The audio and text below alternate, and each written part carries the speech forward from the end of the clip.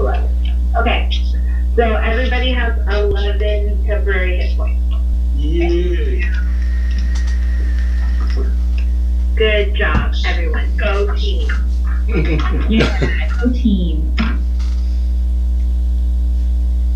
So yeah, Spend 10 minutes reading inspirational wall hangings. Life, live, love. Right. so, um, the posters where it's like a picture of a mountain and then it's achieve. yeah, yeah, right. We got Successories. That's what called. Successories. Those I remember when they when offices first started hanging those idiotic posters, and I the first time I ever saw one, I'm like, that's the dumbest sack of horse shit I've ever read in my life. I mean, or the the kitten hanging hang in there. I'm like, oh, what the fuck? Totally. Which I found uh, additionally funny because, you know, something like that that says, you know, hang in there. It's like, what kind of shitty place is this where they have to inspire their employees? Don't worry, it's not as bad as it seems.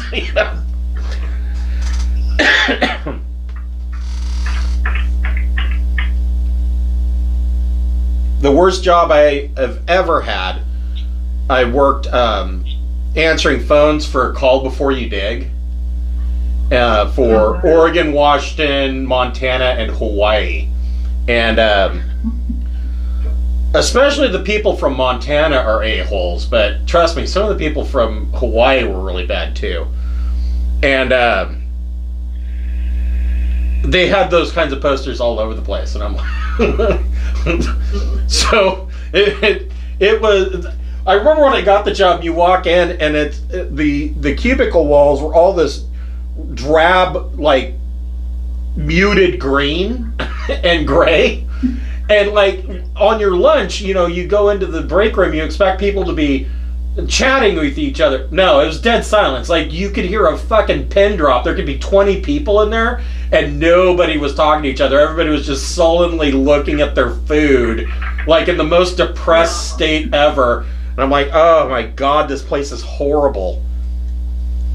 And you used to get calls from these from these morons in Montana. You'd say, "Well, do you have GPS coordinates?" Well, no, I'm looking at the map and it shows there's a line right here. And I'm like, nobody can see those lines, dude. what the fuck? So the people in Hawaii don't dig, you'll hit ocean. Right, right. Yeah, the people in Hawaii, man. Ugh. And it was never the guys that were, you know, there were a couple of farmers and whatnot. It wasn't those guys that were bad. It was the ones that lived in the cities themselves that were trying to put up, you know, a new high rise or a new hotel or something. They were just complete a-holes. Well, I don't see why I have to wait three days for somebody to come out and mark the lines. So you don't blow yourself up, you fucking idiot. You don't shock the guy with a shovel. Right. Yeah. I'm sure your neighbors would enjoy it if you cut through their fiber optic line, you know. They have a line like that for Florida, and it's just a recording that there's no. No. yeah, right. So, you guys all have 11 temporary hit points from her uh, uh, inspiring leadership speech. Um, I bet Trump wishes he was a bard. Um, He thinks he is. He's the bestest. he, he's the bigliest bard there is. um, what? Well, he does talk, so he kind of is, just sucks at it. yeah, right. That's true. So, everybody go ahead and roll initiative, and you will get a surprise round uh, to maneuver and tell me what you want to do to this amber golem. Uh, let's see here. Looks like Maisel got an eight. Like, I got a nat 20 on the NIST, so I do double damage for everything. Yes. Pepperell got a 23. I think that's the best initiative you've rolled so far. Yep. Uh, what did Mike get? Nine. And Carice? 13. And Helga? I got an eight. Helga got an eight. Okay. Ah, there it is. Okay. Well, that's okay. The stone golem, or the amber golem, only got a six. So, y'all still did better than the uh, golem. So, Pepperell, with your surprise action, where would you like to move and what would you like to do? Uh, do I get a bonus? Yeah, it is a full. It is a full uh, surprise turn for you. So Okay, I'm gonna cast a hex on the stone golem. okay,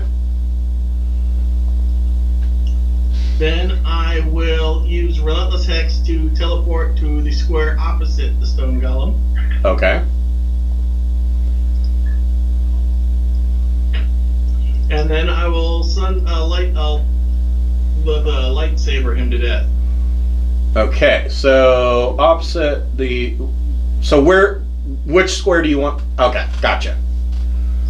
Okay, go ahead and make your attack.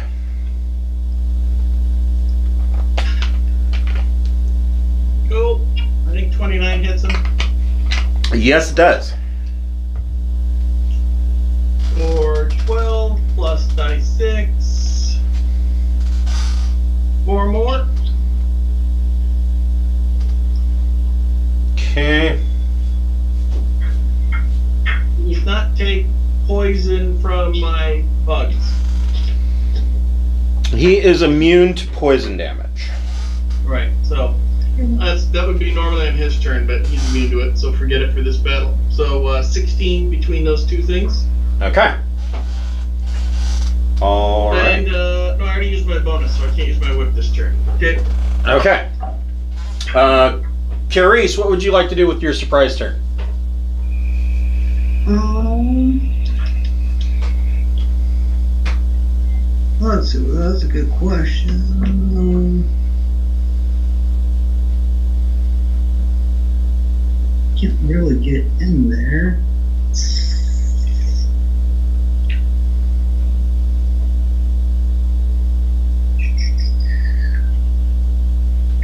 I will cast. Uh,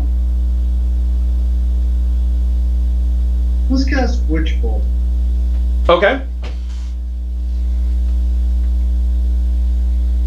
Can I see him from the uh, like a direct line of sight through the passage? Yes. Okay, then yeah, I'll go ahead and cast Witch Bolt. Okay. I'm gonna go all Palpatine on him. Yep. Range spell attack. Like twenty-five. yes. D12. Uh, six points of damage. Okay. And as long as you maintain concentration in that, you don't even have to make another attack next turn. You just do it. Yep. And I will just kind of step back where I can still see him, but I'm not blocking the doorway. Okay. Mike, what would you like to do?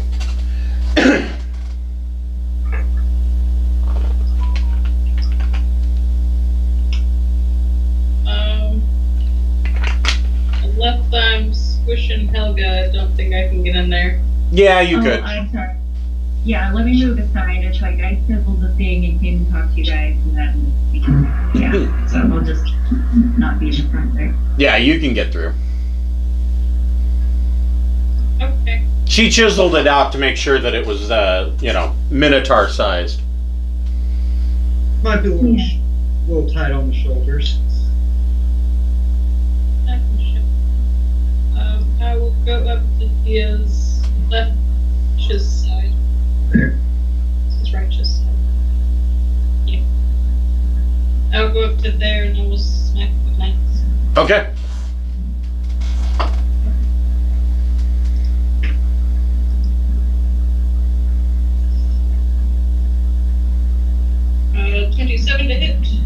Yes. Seventeen damage. Okay. This poor guys going, man, we're just standing to think about need to find a new job, all of a sudden catch up or something. uh, your next attack. Second attack. 29. Yes.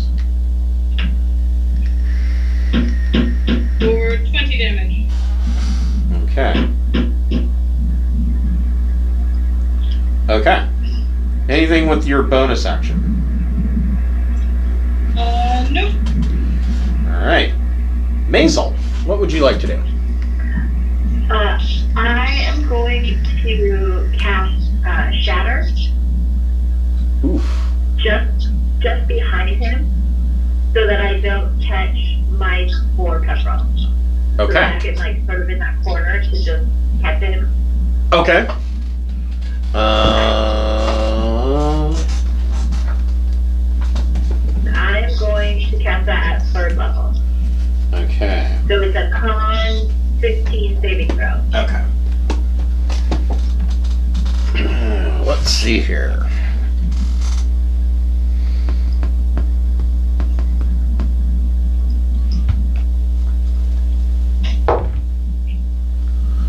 Nope, he only gets an 11. Sweet. He's going to eat a lot of damage. So that's uh, 18. Okay. Is there anything you'd like to do with a bonus action or movement? Let's see. What time is it? 2.30? I will give another uh, bardic inspiration this time to Carrie the third. Okay. Yep. You probably, let's see here. You probably moved to like right there so that you could see this point. Uh, Yes. Okay. But that doesn't mean like I'm kind of stuck bottlenecking the.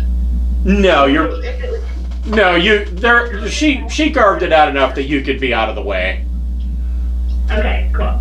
Uh, Helga, what would you like to do? Let's see. Let's run up and attack it. Okay.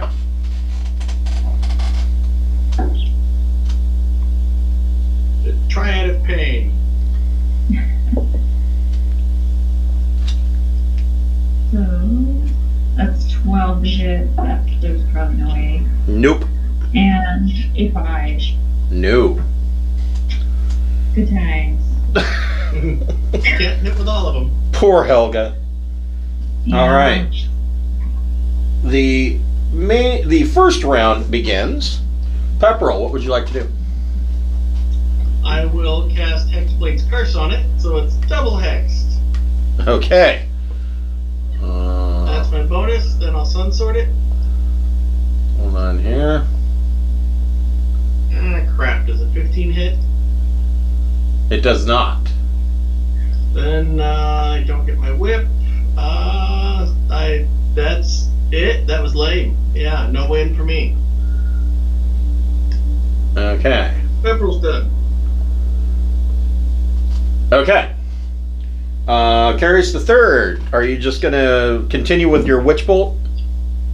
I'm gonna do a witch bolt, and I will use my last spell sorcery points to meta magic quicken another spell.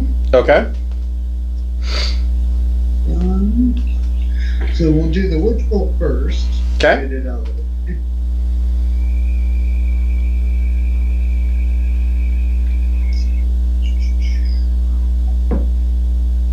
Uh, 17? Yes. No, I don't have to roll. No, you don't have to roll to hit. You just roll damage. Uh, 12 max damage. Okay. Nice. And I will meta magic. Let's see how much do I have left. Level 2 spell. That is, I'm gonna meta magic a scorching ray. Okay.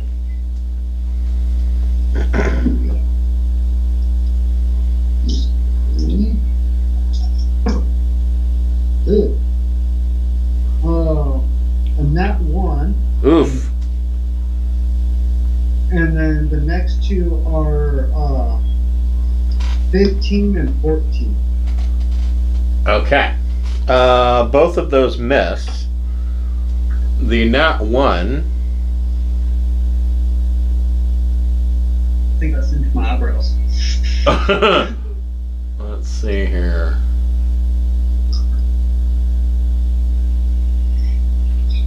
Um. What is it? Oh. Let's see here. What kind of sorcerer are you? Uh, what do you mean? Like wild magic, blood, or uh, blood of dragons? What's your Oh, archetype? Yep. Oh, oh, bloodline. I am a red dragon. Hence the affinity for fire. Okay, so you went blood of dragons. Okay. Yep.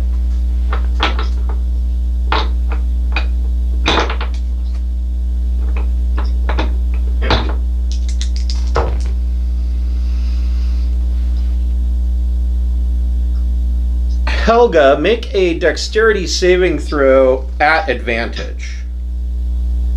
I'm sorry, Helga. I got a nat 20. Nice.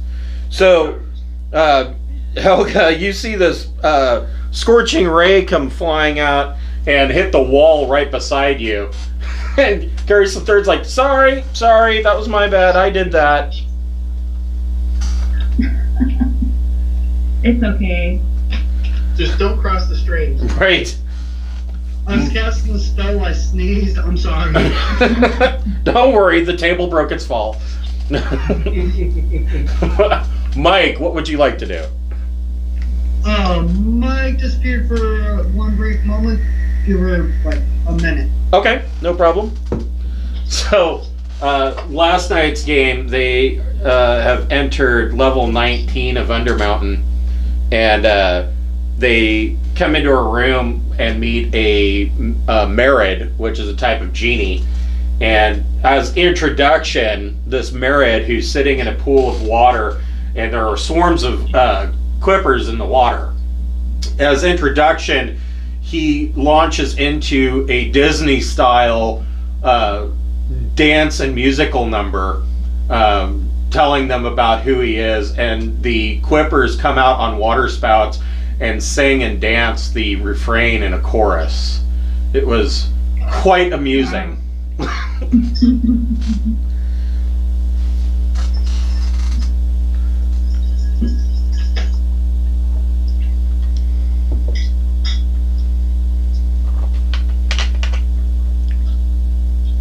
Mike is back. Will attack the thing. Okay. Mike is going to do rage first. Yeah, that's a good idea. That is his last rage.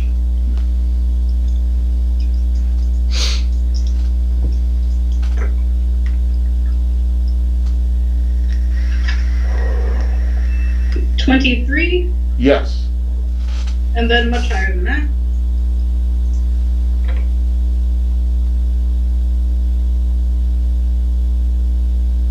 Uh, sixteen for the first attack and thirteen for the second.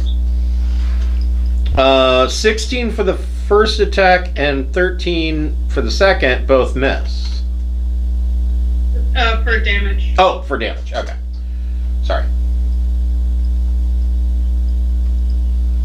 Okay. Bon- uh, anything with your bonus action? Raging was my bonus. Oh, that's right. That's right. Okay.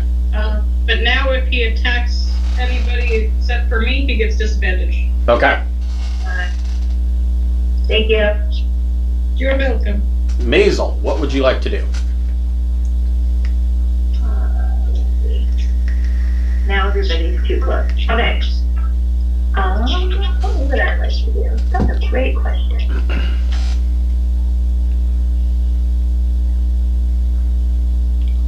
I don't think I have anything that will actually attack him. That won't hurt other people. Um, You could just shoot him. You have a your crossbow's magical. yeah, but he's made out of amber. Won't it just like dink off of him? Nope, he uh, does not have immunity uh, to it because it is a magic weapon. Oh, exactly. Yeah, that's what I'm gonna do. Here we go.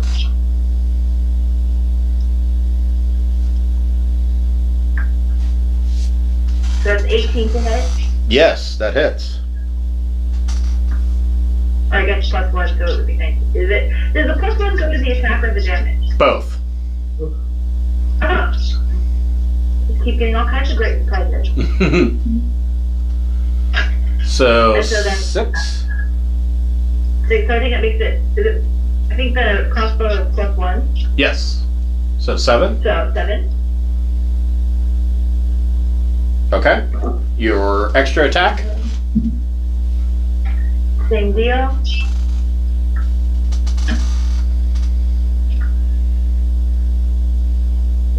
Twenty-two, Yes. twenty-three, and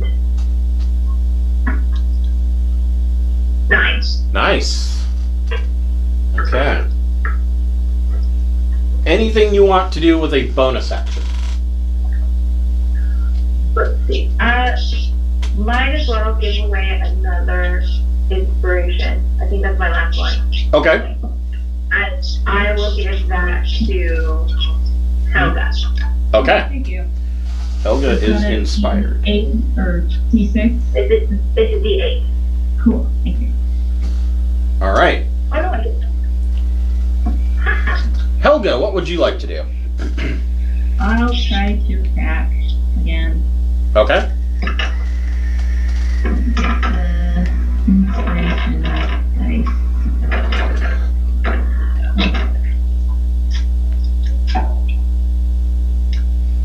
Twenty-one. Yes, that hits. Okay.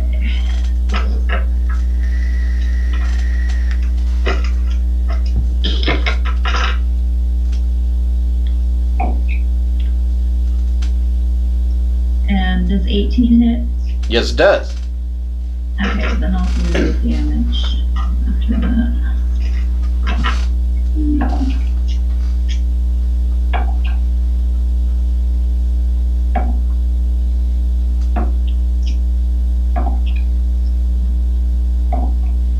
Twenty-two altogether. Okay. Ouch.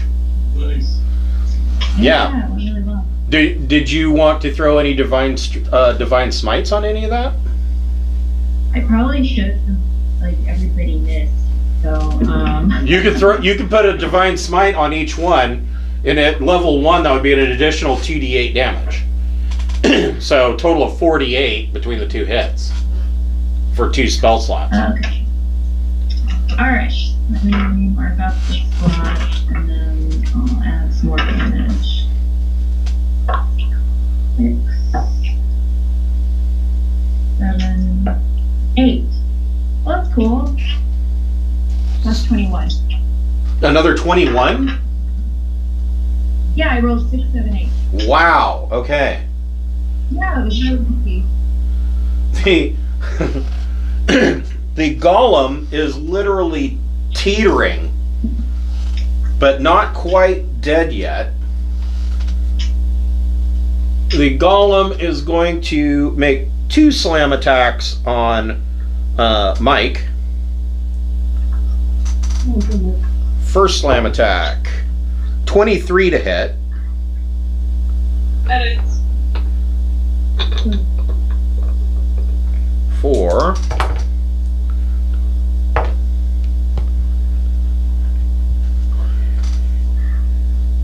Twenty-six points of bludgeoning damage. Remember your 11 temporary. She Shoot that off. So, so I took two damage from that. Yep. And the second hit is twenty-seven to hit That hit. for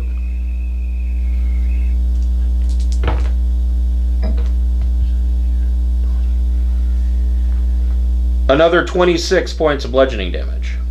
Wow. So 13. Took 15 total. Yes.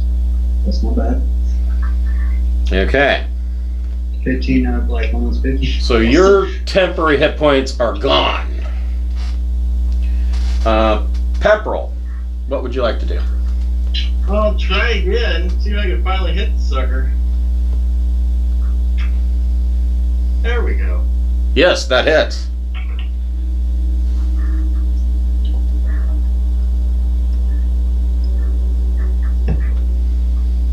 Uh, plus three more because of the second curse. So, 21? Okay, so you drive the sun sword into the golem, and it just you see cracks go all the way through it, and it falls into a pile of rubble and is no more. Pepperell is triumphant, raises his hands, and says, Yes, I did it all by myself. I'm the greatest. So in this room, uh, to the south, you see a, a set of double doors, and in this room there are six piles. Um, let's see here. In the first pile, you find seventeen thousand five hundred loose copper pieces. I'm glad we have a bag of holding. Yes, Yeah. seventeen thousand five hundred. I'm writing it down if nobody else is. So Thank you. There are 30 gemstones worth 50 gold pieces each.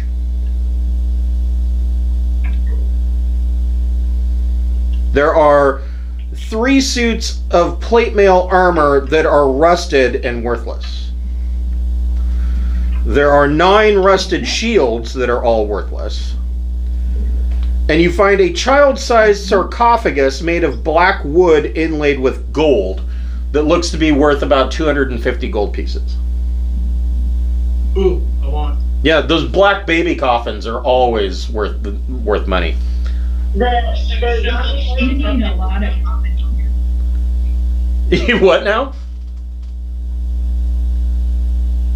the zombie had baby doll can sleep in it.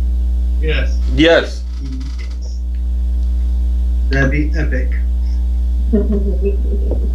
Especially if you could teach it to dance. A dancing baby zombie that dances like the baby from Ally McBeal. yes. nice, yeah. In these don't think that's the same as zombie handling. oh, close. baby handling. Um, in the second pile, you find 12,000 silver pieces lying there loose.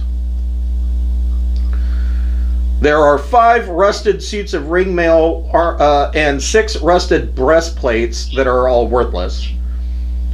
You find a silvered rapier with a pink glass hilt. Ugly. The one fit. Perfect for Valentine's Day. There are four rusted great swords that are worthless, and a gilded chariot worth 750 gold pieces.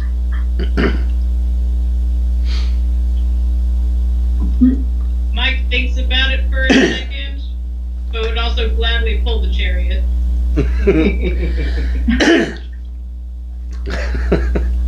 In- In pile three, you find 6,600 electrum pieces. Each coin is stamped with the profiled visage of Strahd. There are 75 empty wine bottles. A trunk is filled with six fine dresses and gowns that look to be about 25 gold pieces each. There are 10 pieces of jewelry worth 250 gold each. And another 500 gold pieces in a rotted wooden chest.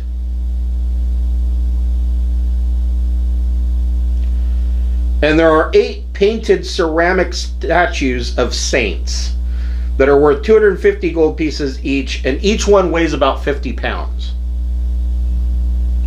There's some hefty statues. Was there anything special about that rapier other than just a glass hilt? It's silvered. That's it. Oh, it counts as silver? Yes. No.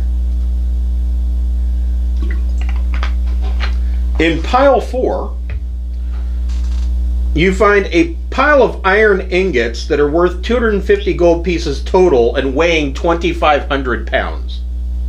Oh, Jesus. You got this right. there are 30 holy symbols worth 5 gold pieces each of gods from various worlds. A set of 12 copper chalices with silver filigree worth 25 gold pieces each. Um, I'm so sorry, my internet kind of dropped. Yeah, Oh, uh, let me start.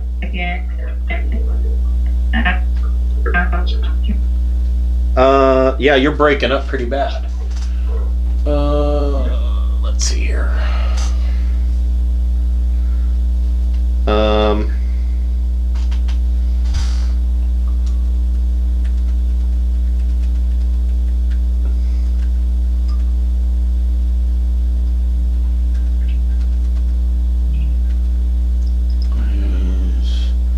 Twenty-five hundred pounds. Uh, let's see here. 30 holy symbols.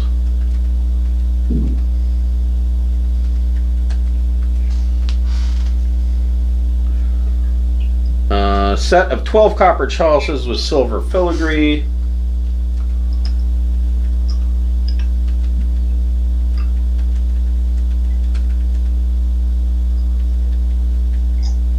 Think that's most of it.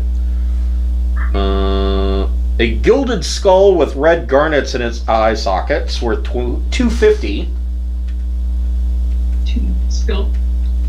No.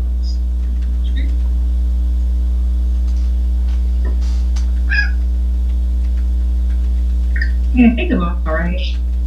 Thanks for typing out loud. though. No problem. Among the holy symbols, is there one for a Bhaal? Um, let me see.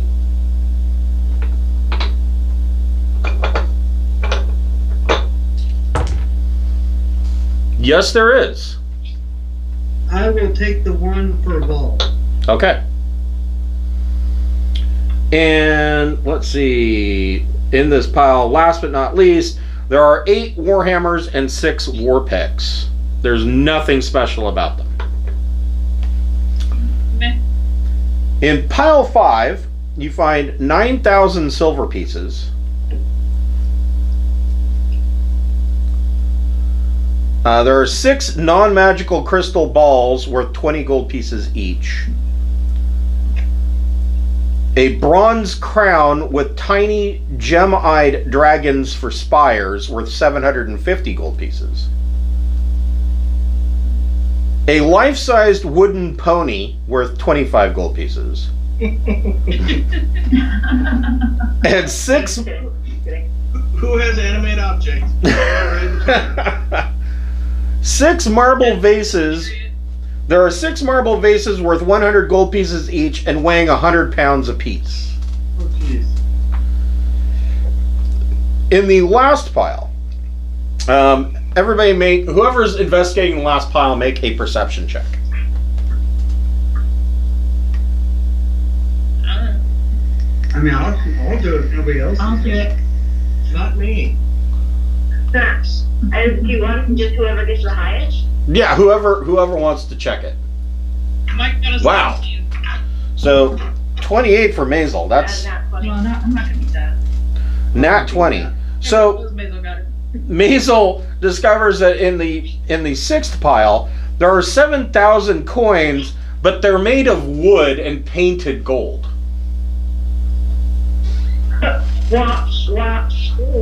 Yeah. Uh, yeah, immediately think of like I don't know if you remember when you were a kid, you would get the wooden Indian nickels if you went to Baskin Robbins. Yeah, that's exactly what these are. Uh, there are mixed in with that is 15,000 copper pieces in 15 different iron pots. There's an obsidian scepter with gold filigree worth 2,500 gold pieces. El, uh, there's 11 rusted helmets and 15 thin leather bound tomes, all of them signed copies of a storybook called Snow Dwarf and the Seven Whites by Nitch Rakme. Sweet. I, I, I will totally take a copy of one of those. Okay. I'll take one too. That's awesome. Like a story I should learn to tell. And that's all that is in this room. Just seven thousand pounds of stuff. Yeah, 7,000 pounds worth of loose coin. Right. Is there at least two bracelets in the random pile of jewelry? Oh, yes. There was uh, one of the piles had 10 pieces of jewelry worth 250, so I'm sure there's there's some bracelets in there. They're leftover charm bracelets from the Christmas sales from Jared. Would you say some of the dresses and gowns have frilly collars and wristbands? Oh, most certainly. I, I need to Lolita up my outfit to suit my my uh, dark mood today.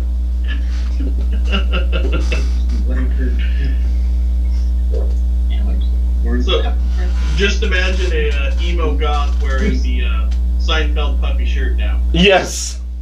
I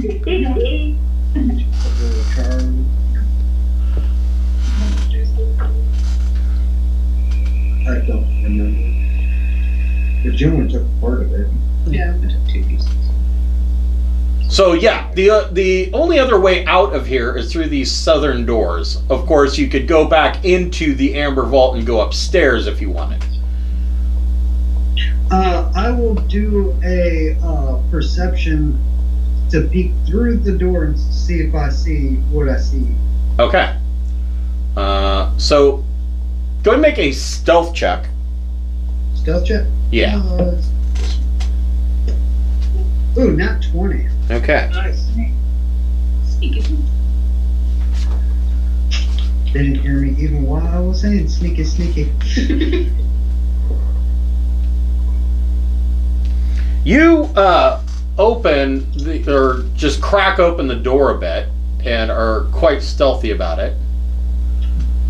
And let's see here.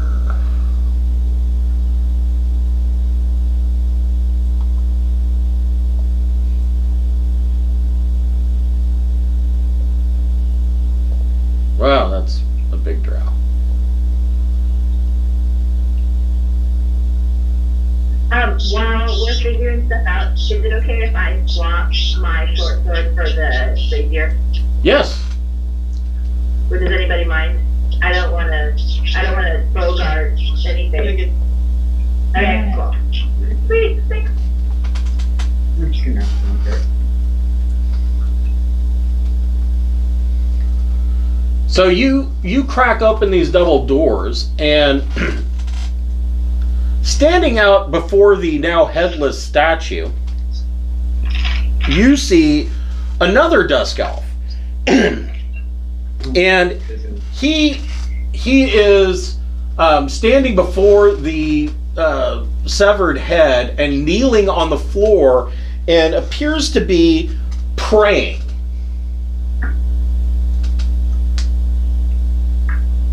Ah, it's another one of those statues. I, I will slowly shut the door and relay what I see to the troop.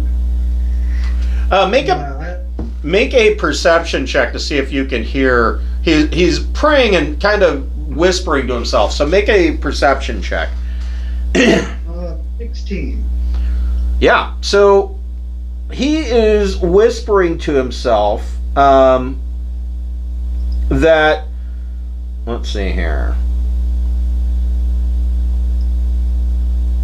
He's sitting. He's kneeling before the severed head, and he's whispering, um, "Oh, nameless God, um, please grant the the I beseech you to please grant the power to release my master Strahd from this realm and allow him to end his curse.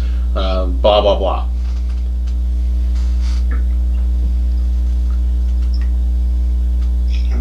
Considering it. I've already looking it up. So you sh- shut the door and relay this to the rest of the party. I do, but then I, uh, I also want to do something after I relay the info to the party. Okay. What do you I'm want to do? Crack, I'm gonna crack the door back open and and use uh thaumaturgy Okay. throw, to throw my voice to the statue. And as the uh, pretending to be the statue, I will tell him that Strahd sucks and he sucks, and they both should feel terrible about themselves. okay. Um, Did it. And you-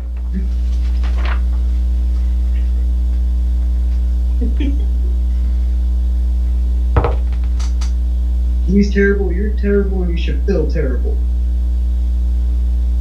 Strahd is a hamster and your mother smells of elderberry. so Right? so thaumaturgy booms out this voice. Uh, and you see this dusk elf. Um, he draws his swords. Uh, I'm sorry. He draws one sword, uh, a scimitar, and looks around, but does not see where you are, where this is coming from, and then starts to slowly back his way out of the uh, of the temple. Uh, he I, will, I will reply with, Ye of little faith, from the statue.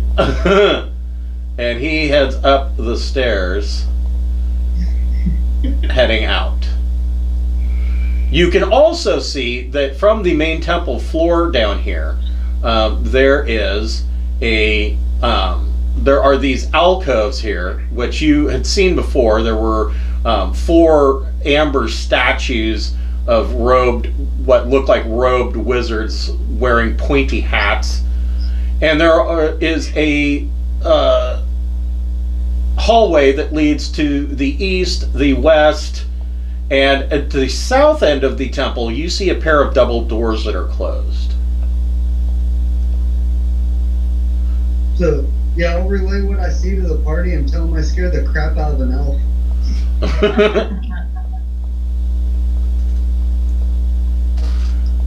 okay. So the dusk elf heads upstairs and leaves.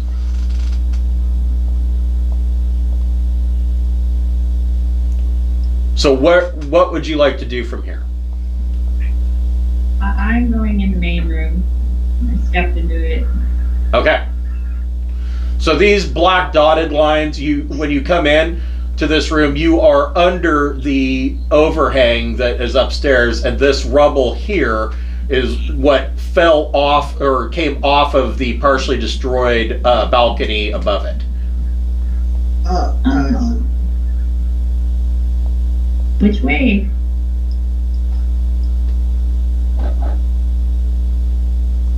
Should we try east because we know where the the pit holes that direction, and the other underground sarcophagi we found were easterly. Let's do it. Sure. Okay.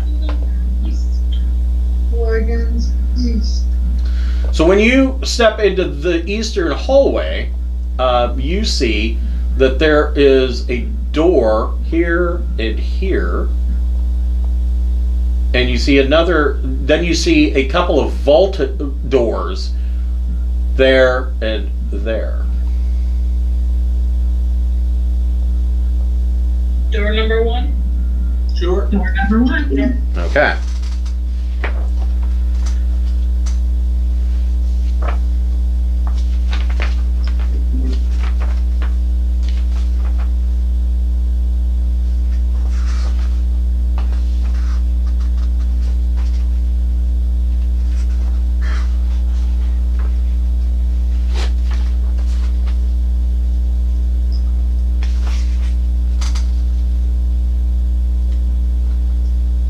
Okay.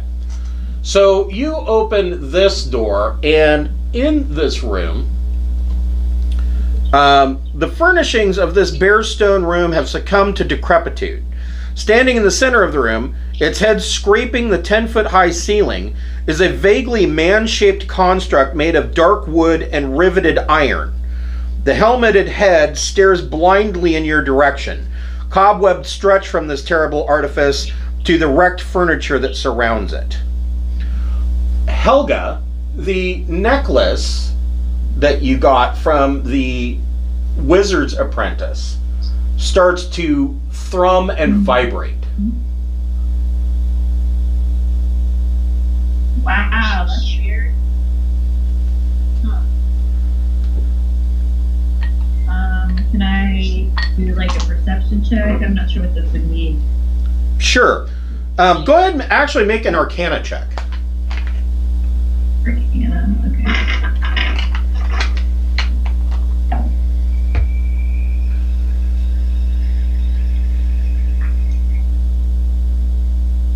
I got a seven. Hmm. Um, Carice, make a uh, arcana check.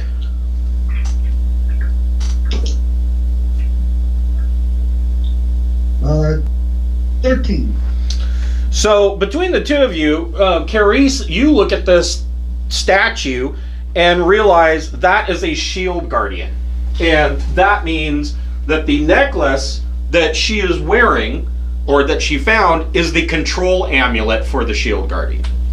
Um, give me just a second. I will be right back. You have a friend. Yay, finally. No. Robo Butler.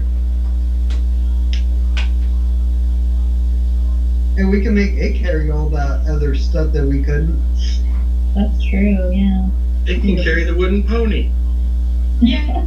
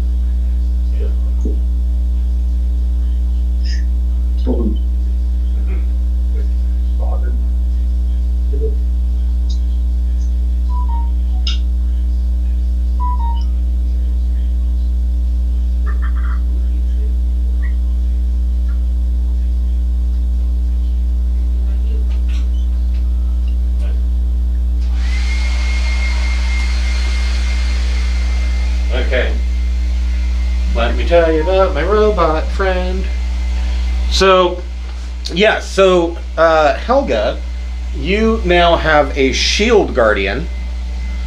Um.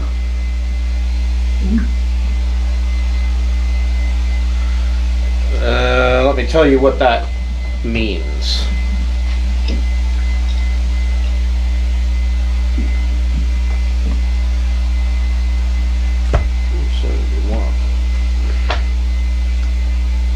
So, what that means is, um, this thing, uh, basically, it is a construct with 142 hit points. Um, it will, because you have the amulet, um, the control amulet, um, the shield guardian can have only one corresponding amulet, and if that amulet is destroyed, the shield guardian is incapacitated until a replacement is created. Um, let's see here. The amulet itself has AC 10 and 10 hit points, and is immune to poison and psychic damage. Um, the guardian's solitary focus is to protect the amulet's wearer. Uh, the amulet's wearer can command the guardian to attack its enemies or to guard the guard the wielder against attack. Um, if an attack threatens to injure the wearer, the construct can magically absorb the blow into its own body, even at a distance. Spellcasters can store a single spell within the, in the shield guardian, which can then cast the spell on command or under specific conditions. Um,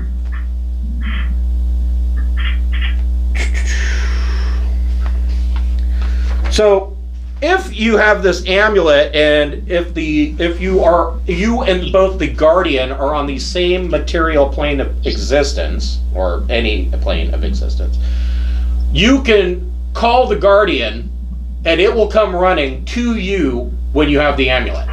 Um, it will go at the it will use the the initiative rules from Tasha's. So at the end of your turn, after you have done your actions, the you, the guardian can then go. Um, it has multi attack and it makes two fist attacks at plus seven that that do two d six plus four bludgeoning damage, and as a reaction, it can do shield. Um, when a creature makes an attack against the wearer of the guardian's amulet, the guardian grants a plus two bonus to the wearer's armor class if the guardian is within five feet. I'll print out a um, character sheet to keep track of everything. Um, What I can do is I will um, send you a uh, PDF or a JPEG of the Shield Guardian um, after this game. sure, that would be great. Okay. That is an awesome find. Yeah, that's cool. Cool. Okay.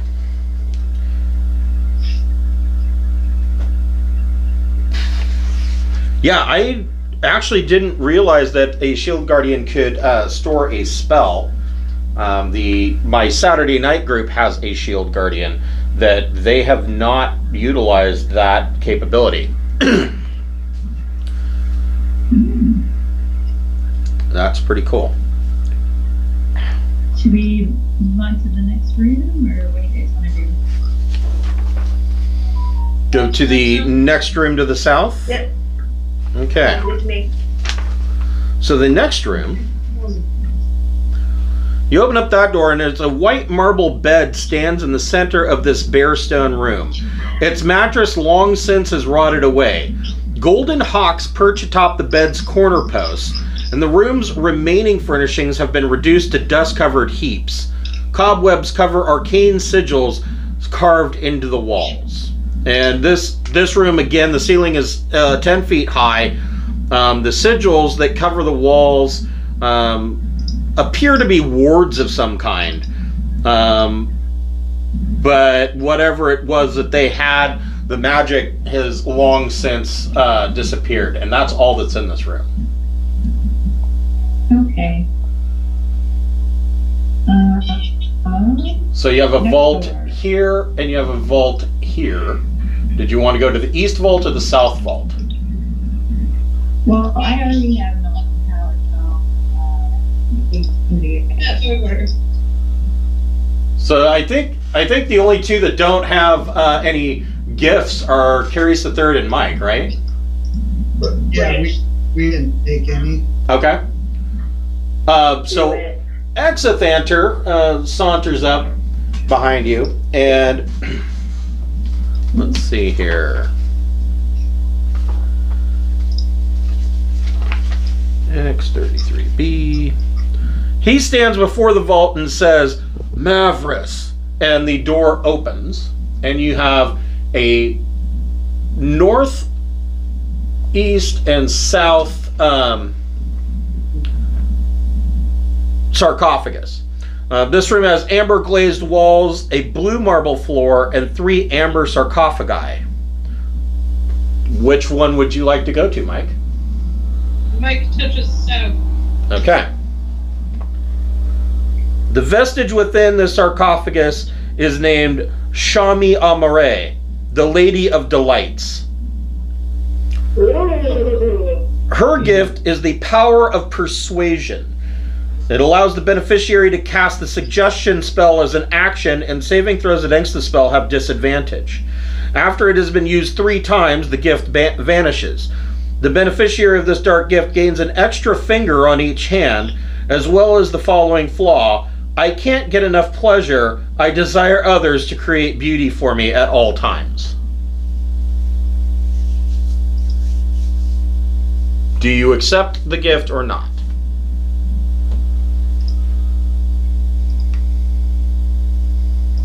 Feel like he's not much for the persuading people. Although Yeah. the six figures and making everybody be in fancy dresses and everything. I like You know, that sixth finger, that's going to be where the pleasure comes from. I, I could have two pinkies up at tea time. that's right. Um, Or you could gonna deny that one. Okay. Did you want to pick another sarcophagus?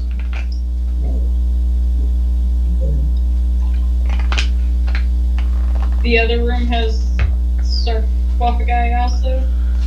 Yes. So in he stands before. Let's see, which one is that? That's A. He stands before that door and says Shalix, and this chamber opens up, and there are three flame skulls in here, wreathed in green flame. But um, he waves them aside, and and they allow anybody to enter. Uh, Carice, did you want to go into this vault, or did you want to go into the one that Mike's in? I'll go into the other one. I'll do the one that's on the left. Okay, so the western sarcophagus. The vestige within the sarcophagus is named Fekre, Queen of the Poxes. Fekre's gift is the power of spreading disease. Um, she, the beneficiary, is allowed to cast the contagion spell as an action. After it has been used three times, the dark gift vanishes. The beneficiary of this dark gift reeks of filth and rot. Pass. No. Uh, Mike, did you want to pick another sarcophagus? We'll go to north. Okay. Uh, the vestige within this sarcophagus is named Savnok the Inscrutable. His gift is the power to shield the mind. Uh, his dark gift takes the form of a mind blank spell cast on the beneficiary. The spell has an extended duration of one year, after which the dark gift vanishes. The beneficiary's eyes melt away upon receiving this dark gift, leaving empty sockets that can still see. That's creepy. I bet that would be good with Raj and mind control people. Yeah, I'll go with the eyeless minotaur. Okay. So you have a mind blank spell cast upon you that will last for one year. Wait, who was the man? Let me double check this. Uh, wiped your mind. No, no big yeah, no. That's glass. So you are immune to psychic damage. Uh, any effect that would sense your emotions or read your thoughts, divination spells, and the charmed condition. Uh, the spell even foils wish spells and spells or effects of similar power used to affect the target's mind or to gain information about you. nice. Huzzah! And that's that's good for a year. You must keep- I can keep everybody's secrets. Okay. Uh, South, south one? Okay, the south sarcophagus, the vestige within is known as Zrin-Halu, the Howling Storm. Zrin-Halu's gift is the power to create lightning. Uh, the gift allows its beneficiary to cast a lightning bolt spell as an action. After it has been used three times, the dark gift vanishes. Um, as soon as this gift is received, one side of the beneficiary's face sags and loses all feeling. You I, have. I, I will pass on stroke face. Okay, you don't want burning feathers? No. Go to the next one. Uh, this sarcophagus holds the vestige of Sykane, the soul hungerer. Uh, Sykane's gift is the power to raise the recently deceased. The dark gift allows the beneficiary to cast the raise dead spell as an action. After it has been used three times, the dark gift vanishes. As soon as the dark gift is received, the beneficiary's eyes glow a sickly yellow until the dark gift vanishes. The beneficiary also gains the following flaw if I help someone, I expect payment in return. Um. Yeah, I'm gonna go ahead and take that one unless I find a better one later. Okay, so you have you can cast Raise Dead three times.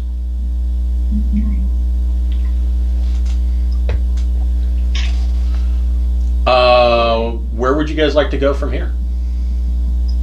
Did you guys want to check any of the other sarcophagus, see if there's a better one than the one you have? Yeah, Well, well, my, my charisma boost is about as good as I could wish for. I'm happy, but I don't know. I, I do want to know what the other ones are. Well, there's one more in the room with Mike. Uh, let's see here.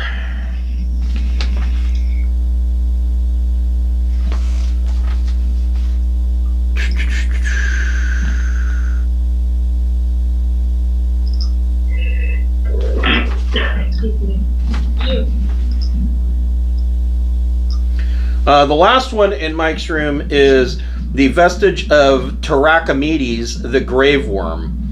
Uh, gift is the power of flight. The beneficiary of this dark gift grows skeletal wings and gains a flying speed of 50 feet.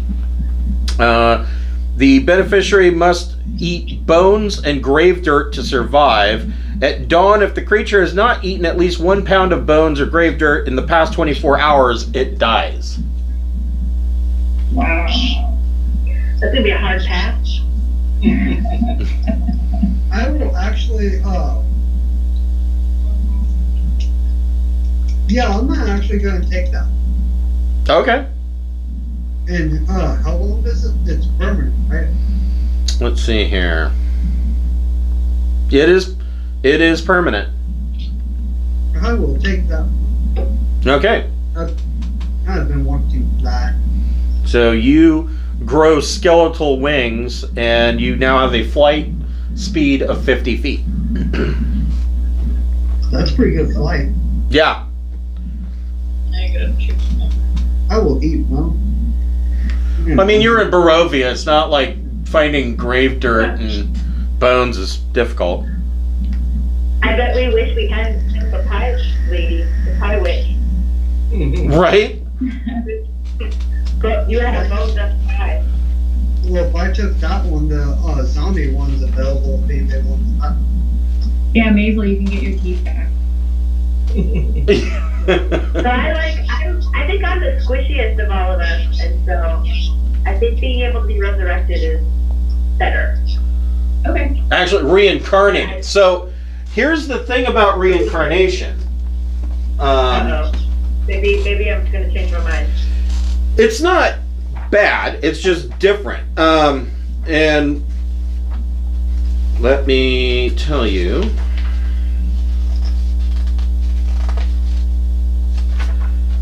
so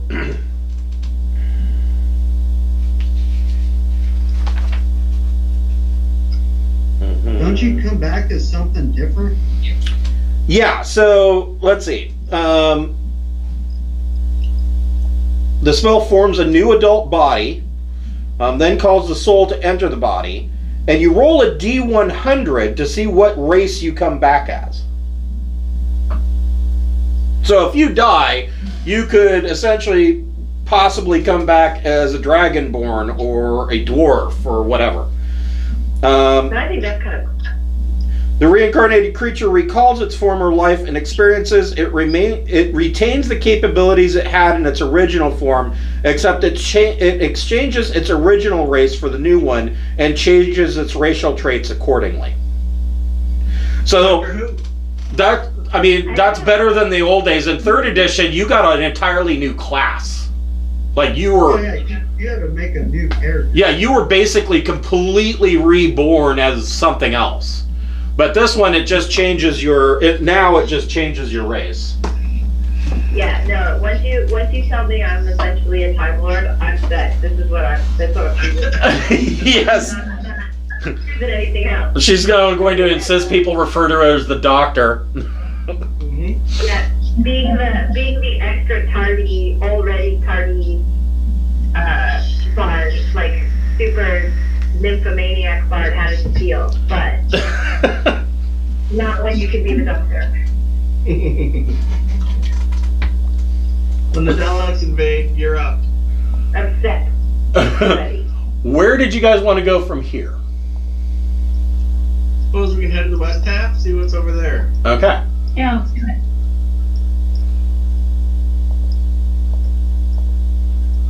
Okay.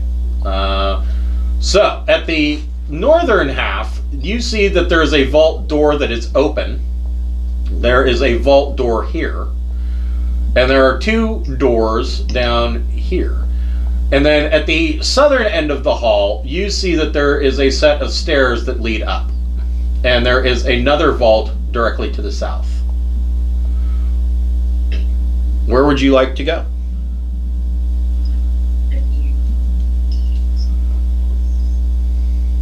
Open vault? Okay. Yep. So the open vault has two sarcophagi. Let me find it. This room has amber glazed walls and a floor of purplish black marble. Two amber sarcophagi stand in the alcoves to the west and east. A, sur- a third sarcophagus that once stood in the north alcove lies shattered on the floor. Clustered in the middle of the room are four loathsome, hunched creatures. Each one has a single large, baleful eye. Uh, Pepperell, make an arcana check. Well, it's not exactly my strong suit. I got a soft one because I have a negative. yeah, you have never seen creatures like this. Um, uh, let's see here. I don't know if I have any. Warlock Yeah. does not equal Arcana.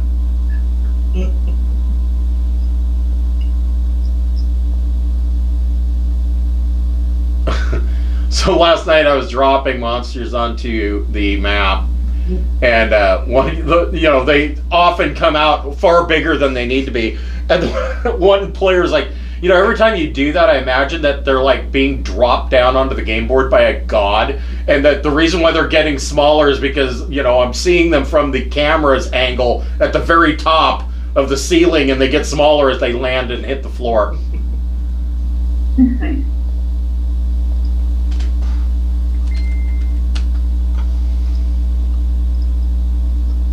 These are Nothics.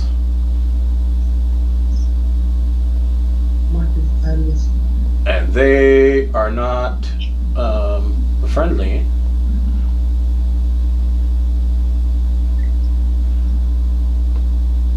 Everybody roll initiative.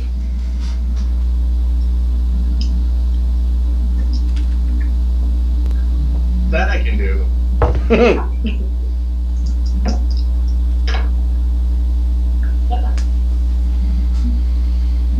oh, there are four Nothics. My bad.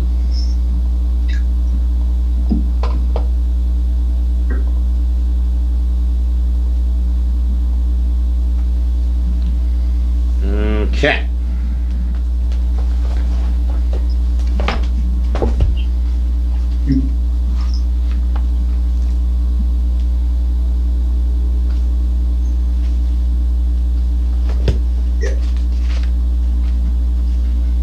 We need to, uh, Okay, so. Maisel got a 19, Pepperell got an 18.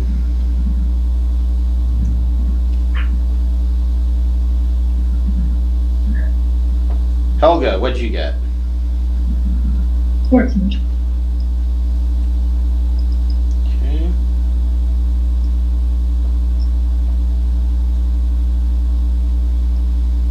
And Mike. Nat 20 for a 23. Nice. And Carice the third. 16. Okay. Uh, so, Mike, you can hear uh, Pepperell be like, "What the hell are these?" And uh, what would you like to do?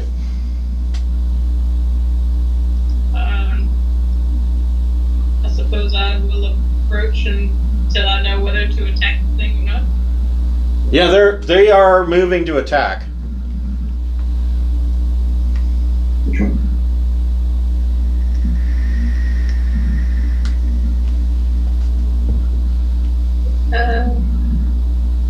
I will move to there. Okay. Uh, they haven't moved yet. Um, did you want to ready an action until they come out through the door? Yeah, if somebody comes out the door, I'll smack the next. Okay.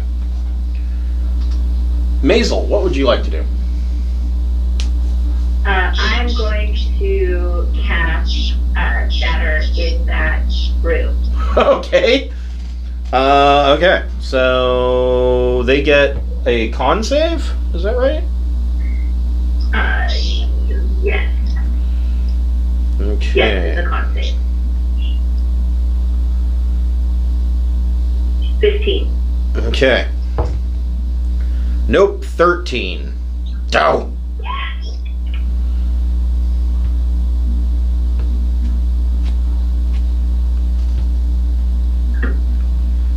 21.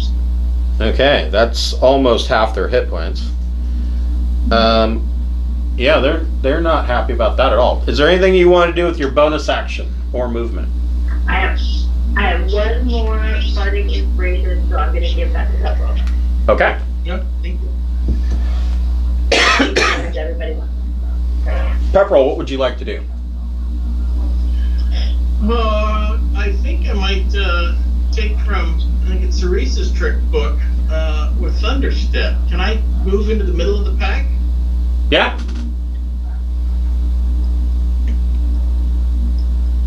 Then I will cast Thunderstep. Okay. Uh, so now wait a minute. If you move into the middle of the pack, the one in the front, the southernmost one, will get an attack of opportunity on you. Well, if I'm here, are they still within ten feet of me? Uh, uh, yes. Okay. Uh, and let's see the. How far can I teleport? Where's the line? Just an unoccupied space within 90 feet. Okay. Uh, so and that's a fourth level. So when I uh, cast and teleport away, they take four die 10. Okay. Um, 17. Okay. Nope, they got a 15. Okay. Um, there we go. Stop doing that. Jesus. Okay. I teleport back out the door at an angle to that spot. Okay. Yeah, they are not looking well. Anything with a bonus action? Uh, I'll look back in the room and cast Hex on that guy. Okay.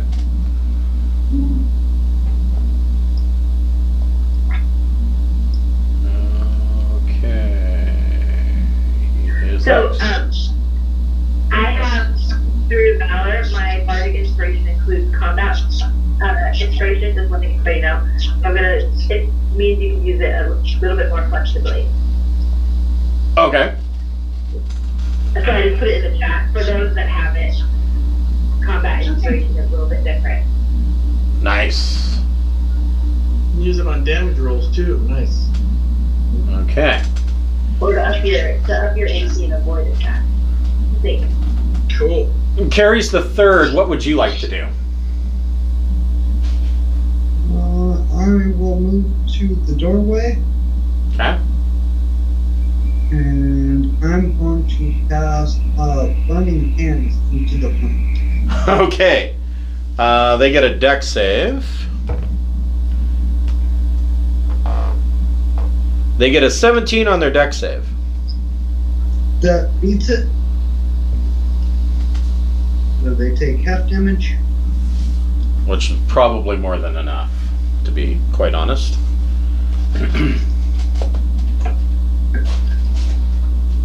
All your guys' AoE spells, like open the door, throw in a grenade.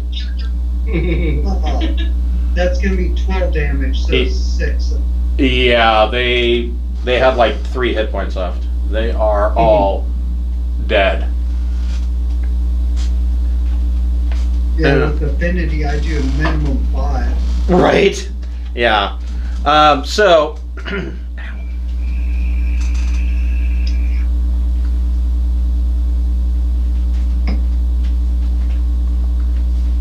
the west sarcophagus holds the vestige of Delban, the Star of Ice and Hate. Uh, Delban's gift is the power to unleash deadly cold. It allows the beneficiary to cast the Cone of Cold spell as an action. After it has been used seven times, the gift vanishes. Um, until it vanishes, the beneficiary also gains the benefits of a Ring of Warmth. Uh, they also gain the flaw Fire Terrifies Me.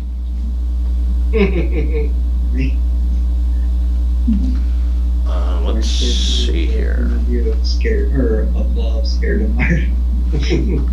yeah, you can take that one and scare yourself every time you cast a spell. Oh, oh my god! The West sarcophagus um, holds the vestige of Khirad, the Star of Secrets. uh, Khirad's gift is the power of divination. It's- the gift allows the beneficiary to cast the scrying spell as an action. After it has been used three times, the gift vanishes. The beneficiary's voice becomes a low whisper, and, it, and its smile becomes cruel and evil. I kind of just want the flaw, but I don't have a use for scrying. right. Uh, the North sarcophagus, you you see that it is shattered, and the shatter, uh, the shattered sarcophagus, it looks, it suggests that whatever the vestige that was inside of it somehow broke free. That, that's kind of foreshadowing scary.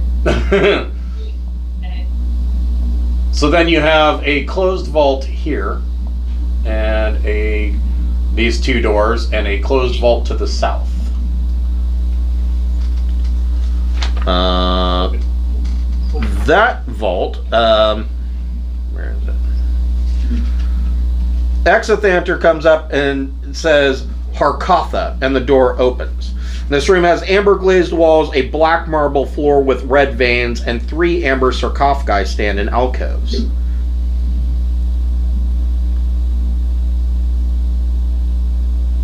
What Run into tower? just see what's Who's going into the room?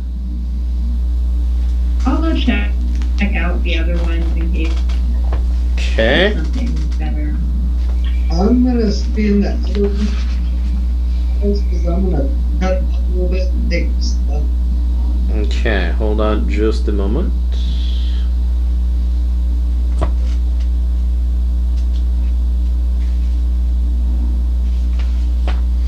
I go back to the top. God damn.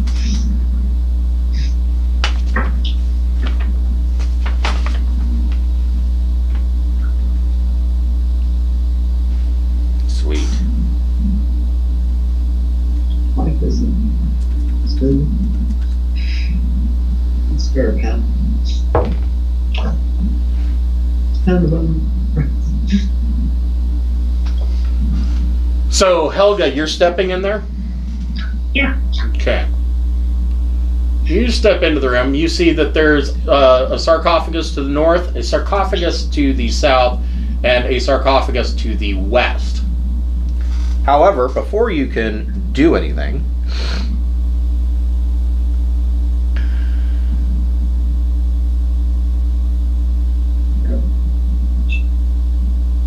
an invisible creature gets to make a surprise attack on you.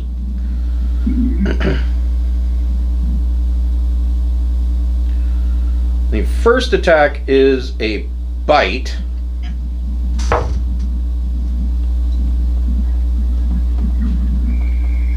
Twenty-one to hit. That does hit, yes. Okay.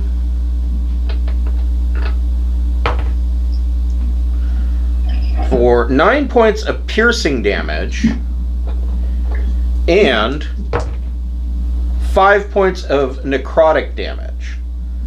It, Alright. it then swings a greatsword twice.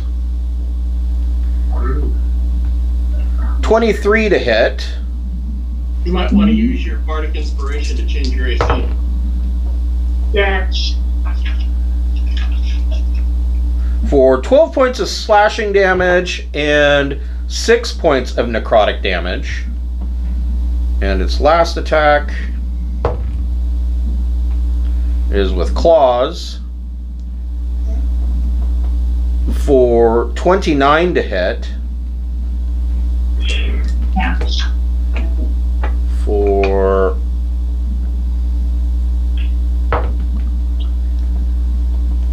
Thirteen points of slashing damage and seven points of necrotic damage. Oh my god. Yeah, this guy. So how did that work with the shield guardian thing? What, like, is he following me or did I? Yes. So, uh, but even he would grant one of his reactions would grant a plus two to your armor class. Oh, okay. My armor class is 19. I'm trying to remember if that negated any. Uh, so it would negate it. It would have negated the first attack. Um, go ahead and reduce. Let's see here. It was it was 14 was the first. Yeah. attack. Okay. Yep. So.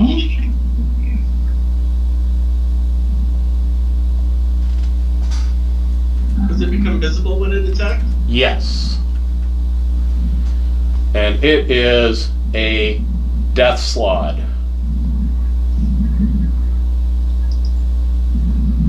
Everybody roll initiative. Okay. I'm doing okay. So. Um, I got 11. Okay.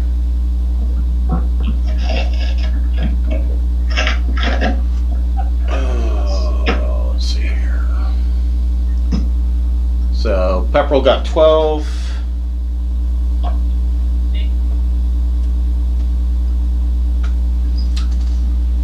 No, right. Maisel got a 6. Uh, Mike, what'd you get? 15. And Carrie's the third. Ten. Okay. And the slaad got a 7.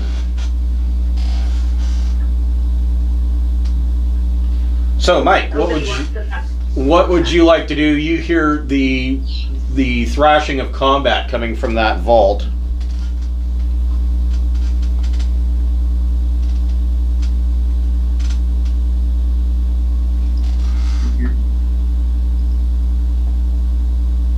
She just got the book.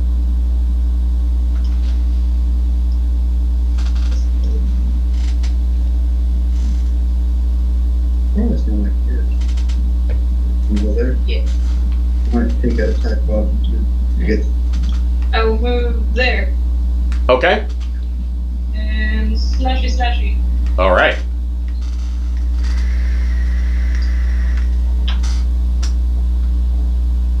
Uh, 21 to hit. That does hit.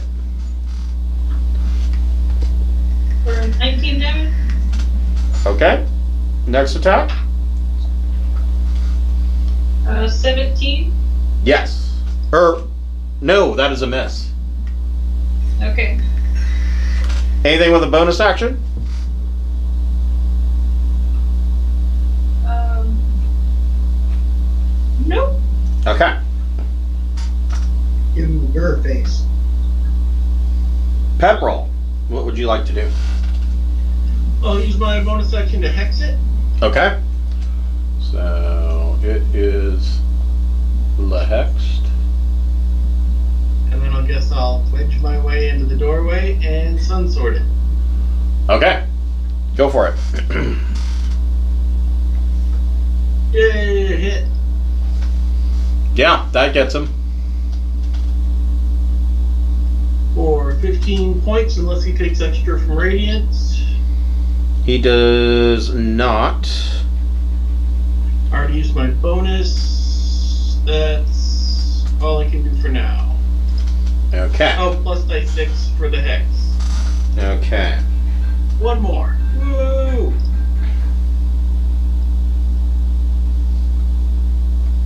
Minus one. Okay. Helga, what would you like to do? I will attack it. Okay. What is it? By the way. What is it? So it it is a death slaad, which is a medium aberration. Um, slaads are, um, if I remember correctly, they're from Limbo. Yes, they are from the ever-changing tides of chaos in Limbo. It is chaotic evil.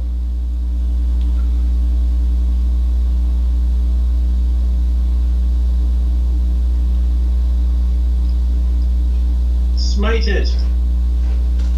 Yeah. So uh, remember, as your bonus action, you could cast a smite spell, and then make your attack. And if you hit, then you the smite spell goes on, and you can throw a divine smite on top of that. So you can you can do quite a bit of damage in one hit.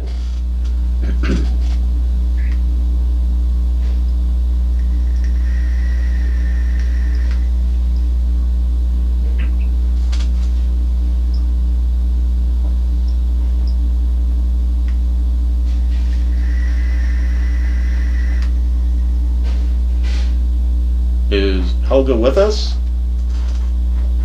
No, looks like they dropped again. No.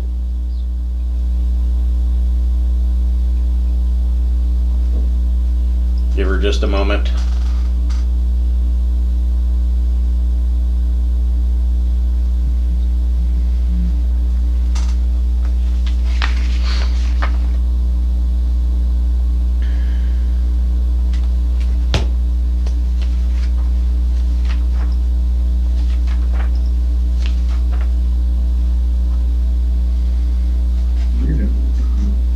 Red slaad sound like something you would order at Sweet Tomatoes.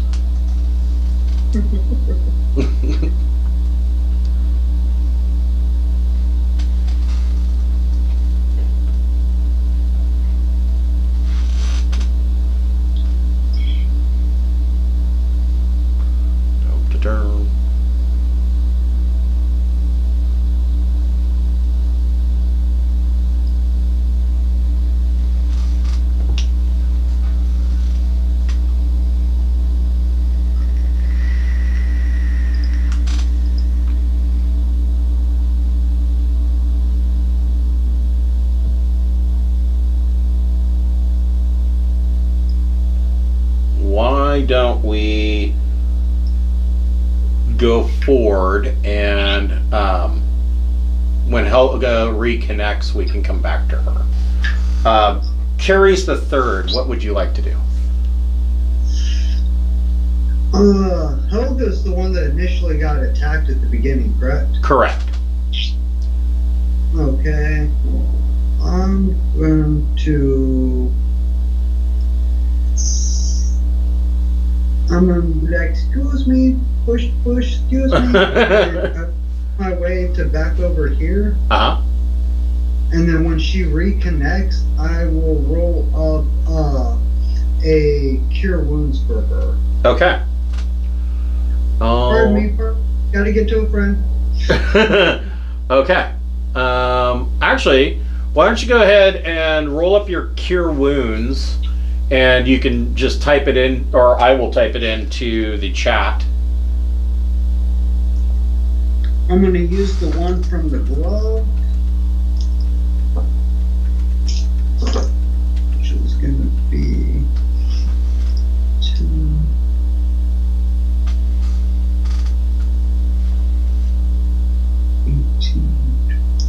Uh, thirty points of heal. Okay. Whoa, 30 hit points. Cool. Whoops. Why did that do that? Okay.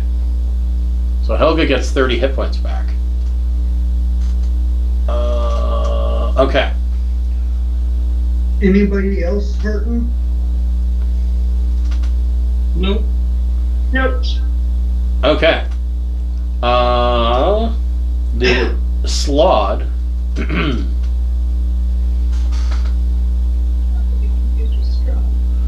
So she does 26 points of damage. She she just texted me. Helga did 26 points of damage to the slaad. Good. Hello, Jeff Kaiser.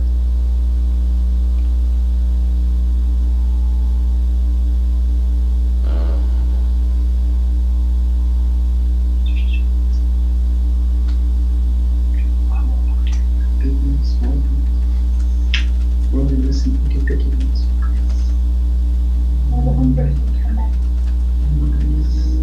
One fifty Ds.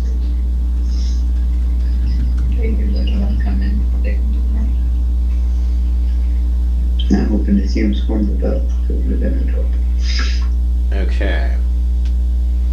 The Slaad is going to attack um, Pepperell. Its first I hope this is awesome. its first attack is a bite. Uh, for 21 to hit.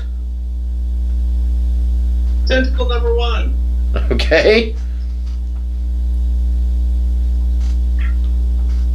Uh, tentacle number one hits, so you can deduct some of that damage. It it is ten points of piercing damage, and eight eight of it. and eight points of necrotic. Okay. Uh, attack number two is a claw. Uh, that is only a 20, soft 20 to hit. They? Ah, I didn't deflect that. I don't get a grapple. And the last attack is a great sword. But that's only a 16 to hit. So I take the second hit. Okay, so he on the claw attack, um, 15 points of slashing damage and 4 points of necrotic damage. Okay. Okay. I Mazel. wanted to have death slaad hanging off my belt. Mazel, what would you like to do? Uh, let's see. I don't know if this is gonna work, but can I cast sleep on it? You can. Okay. I'm going to make it go to sleep, like Mantis. Okay. What level are you casting sleep at? I feel like this is gonna backfire, and that's why you're asking this question. um, I'm gonna cast sleep at level three. Okay, so let's see here. That roll 8d8. I roll eighty-eight. Okay. Yes. How do I do that? Hold on. I gotta go analog for that. Okay. Feel like that's. gonna help me.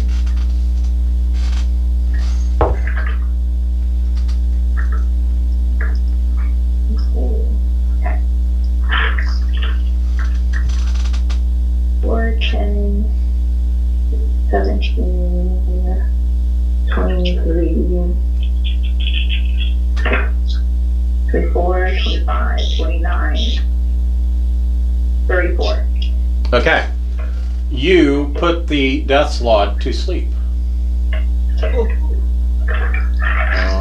let's see here. I don't know if I have a sleepy time. Because as soon as you hit him, he'll wake up, but at least. Yeah, that We're all ready to hit him at one time. yeah, you could coup de grace him. Uh, you've essentially uh, removed him from the fight. um, so, while he is asleep, let's see here. You can pull the control gem out of the slaad's brain. So, essentially, you pull this gem out of his head, and you gain control. he has to do what you tell him to do. So I will send you a uh, a pick of the death slaad and his abilities, and you have gained the death slaad. So now we have two butlers. You, essentially, yes, yes. Um, That's so cool. so we will pick this up next week, um, and uh, we will explore what the dark gifts are available in the sarcophagi. Cool. All right. So the other thing to bring up. So I was hoping that next week we might be able to uh, go back to you in person. Um, they have left Wash all of Washington in their phase one, um, which means that technically um, in indoor uh, gatherings is prohibited. Having said that, I'm doing that tonight anyways because I've had enough of this horse shit and I can't survive not doing it. Um, but um, I'm going to give them until the 25th, and uh, we will continue to play online um, at least until then, and we'll see what happens. In order to move to phase two, which would allow me to have up to 10 people, um, they have each county ha- that in order to move to phase two, they have to see a 10% decrease in cases over a two week period. Having said that, I do not see that that is even possible for Clark County, which is where I'm at. Um, I mean, I could be wrong, but you know, I just I, I don't see that happening in our near future. Um, so I guess on the 25th we'll make more decisions from there, but uh, we will be online again next week. Cool. All right. Right up. Cool deal. All right. I will see you guys next week. Have a good night. You too. Take care, everybody. See you soon.